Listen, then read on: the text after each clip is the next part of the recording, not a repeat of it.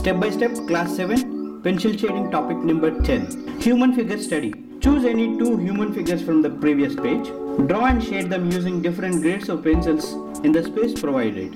Let us choose this girl and the man who is like a saint or a beggar and create a composition by using these two human figures. Take HB pencil for the first step for sketching as well as shading.